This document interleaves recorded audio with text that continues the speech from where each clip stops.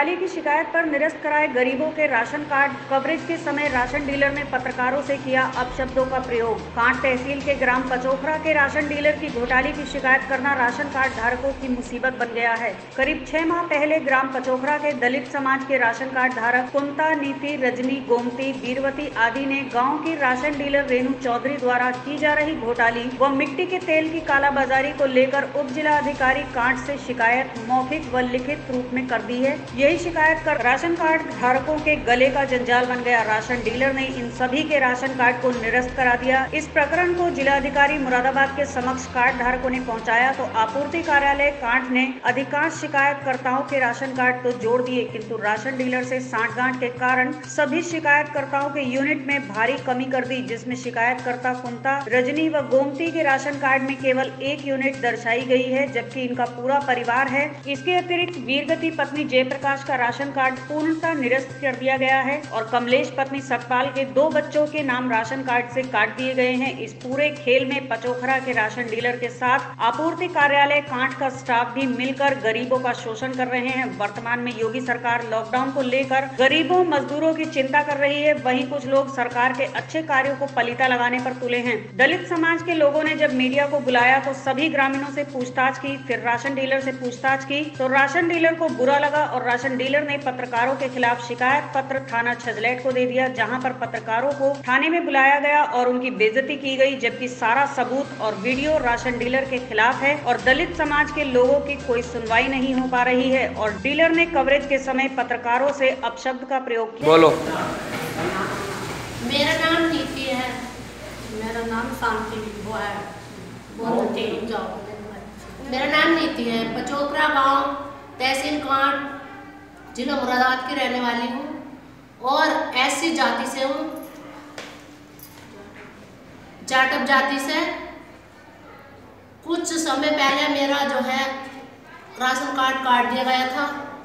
क्योंकि ऐसी की है। मेरे पास पात्र है जो राशन मिलता है, उसका पात्र है, राशन कार्ड है, तीन यूनिट काट दिए गए। मैंने बार बार निवेदन करने पर कहा कि मेरा नाम जोड़ दिया जाए। लेकिन नहीं बार बार यही कि नहीं आपको राशन नहीं मिलेगा। उसके बाद मैंने डीएम साहब पे गई। वहाँ पे मैंने तहसील दिवस में, मंगल दिवस में मैंने उनसे जो है प्रार्थना पत्र दिया कि मैं पाँच जने हैं हमारे घर में और दो जनों को राशन मिलता है, हमारे नाम जोड़ दिए जाए। लेकिन आश्वासन दे दिया कि आपके नाम जुड़ जाएँगे, घर बैठिए। राशन मिल जाएगा अगले माह में।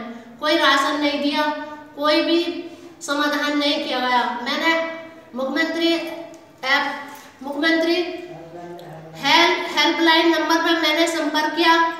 उसका भी मेरे पास डिटेल है। आपसे संपर्क करा दिया जाएगा। उस पर भी कोई सुनवाई नहीं की। कह दिया समाधान हो जाएगा। आपकी समस्या का समाधान हो जाएगा। लेकिन उस पर भी कोई कार्रवाई नहीं की। दो साल हो गए, परमिट कटे हुए कोई राशन नहीं दिया जा रहा। अभी तक इसका समाधान बिल्कुल भी नहीं किया गया है। डीएम एडीएम बार बार मंगल दिवस में जाने पर सब यही कहते हैं कि का नाम जुड़ जाएगा, लेकिन अभी तक कोई भी कार्रवाई नहीं की गई है। जो भी राशन मिलता है बड़े बड़ों को मिलता है, जिनके पचास पचास सौ सौ बीघे की ज़मीन है, उन्हें राशन दिया जाता है। लेकिन ऐसी जाति के होने के कारण हमें कोई राशन नहीं दिया जा रहा। हमारे साथ अन्याय हो रहा है। दस दस बीस जो है गाँव के इकट्ठे उनके नाम काट दिए गए हैं। किसी का एक यूनिट है किसी का पूरा जड़ से काट दिया गया। आप बताइए हमें हमारी समस्या का समाधान कीजिए। मेरा नाम गोमती। मेरे पति का नाम सुखपाल ऐसी जाति से? ऐसी जाति जाति से। छह माह से मेरा। हाँ छः महीना हो गए। छः महीना हो गए। राशन नहीं मिला। जब जाते हैं उसके दोहरा तो धक्का देकर निकाल देती है। अन्नू कह रहा है अन्नू कहती वो राशन ले मैं ना दूँगी राशन। तक डीएम पे जाओ।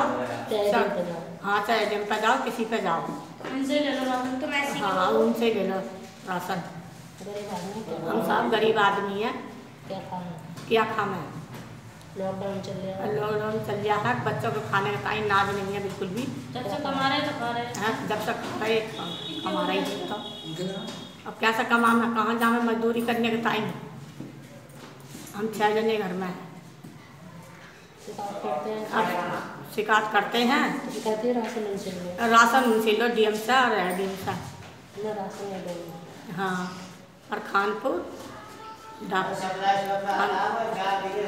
खानपुर तहसील कांट जिला मुरादाबाद। जिला मुरादाबाद। के रहने वाले हैं पचोपरा गाँव के रहने वाले हैं। मेरे घर का नाम बागे है। और पचोकरा खानपुर है। छदलेट थाना है मुरादाबाद जिला है। और हमें राशन नहीं मिल रहा है। पाँच यूनिट है हमारे पाँच में से सबका नाम काट चुके हैं। मगर ना राशन की सुनवाई करते हैं तो हमें राशन नहीं दे दे रहे हैं। और हमसे झगड़ा करते हैं राशन के बारे में कहते हैं तो मजदूर आदमी है रोज के करने वाले रोज के खाने वाले हैं। ज़मीन वालों को राशन दे रहे हैं मगर गरीब लोगों को राशन नहीं दे रहे हैं ये लोग। हमने बहुत सुनवाई करी है हमारी सुनवाई किसी ने नहीं सुनी है। पाँच बच्चे हैं पाँच चार बच्चे हैं हमारे। और हम क्या खाएँ जब बो बोझ लगा हुआ है तो लॉकडाउन लगा हुआ है तो। ये बताओ, गेहूँ काट रहे हैं, गेहूँ भी नहीं मिलते, हमें बताओ गेहूँ भी नहीं मिल रहे, हमें क्या खाएँ अपने बच्चों को क्या खिलावें जब मजदूरी नहीं मिल रही गाँव में, कुछ खाने का सीज़न नहीं है तो क्या खावें हम? बस, एक। हम?